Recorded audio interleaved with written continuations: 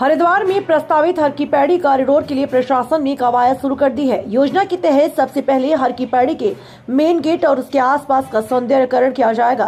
साथ ही हर की पैड़ी पुलिस चौकी को भी शिफ्ट किया जाएगा। सौंदर्यकरण के बाद विश्व प्रसिद्ध हर की पैड़ी कैसी नज़र आएगी, उसकी तस्वीरें भी सामने आई।